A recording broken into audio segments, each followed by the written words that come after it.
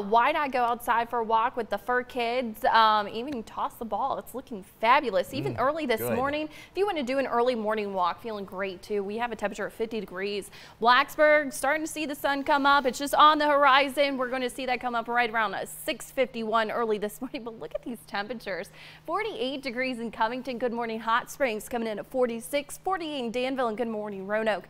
Waking up to 52 degrees and we'll see more sunshine this morning. It'll be of the filtered variety, but temperatures will quickly heat up into the lower 60s, right into the 70s this afternoon, keeping humidity levels on the lower end of the spectrum before really ramping up late this evening and overnight. Satellite and radar pictures seeing some of these higher base clouds again, not completely blocking out that sunshine for us, but bigger complex system off to our west will spill a few more into our neck of the woods this afternoon. Seeing a lot of snow showers from Wisconsin to South Dakota in portions of Colorado too. They're seeing blizzard-like conditions in parts of Minnesota expecting to see upwards to a foot of snow when that system's all said and done.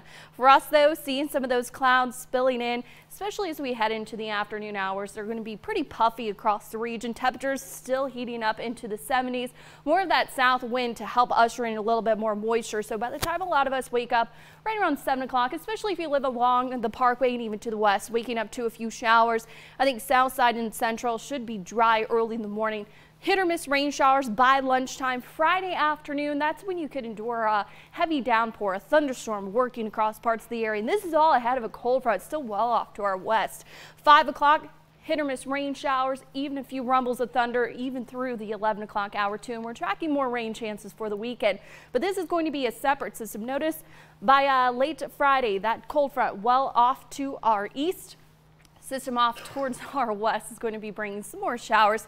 Even a few thunderstorms to the region come Saturday and even more so for Sunday. It looks like Sunday could be the wettest in our weekend and then by the time Monday morning rolls around just a straight shower early in the morning and then the precipitation will be fading away for us.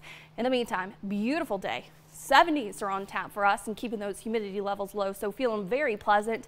If you're looking for something to do, the game gets underway tonight. The Red Sox game first pitch right around 7.05. Temperatures will still be right near that 70 degree mark, mid 60s on the way for that fifth inning. Mid 60s for Friday, lower 70s for the weekend with scattered showers and thunderstorms.